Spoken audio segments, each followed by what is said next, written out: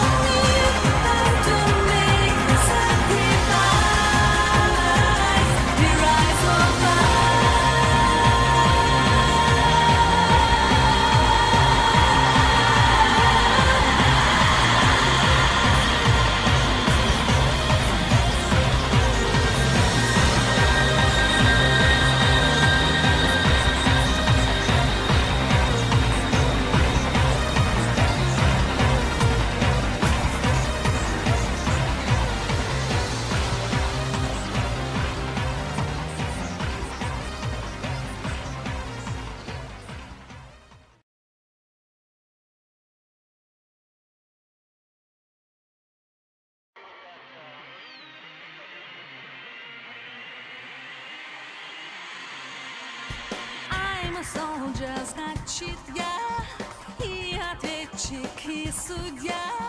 Я стою на двух концах огня. Огибая виражи Обгоняя смерть и жизнь Я бегу сразиться с тем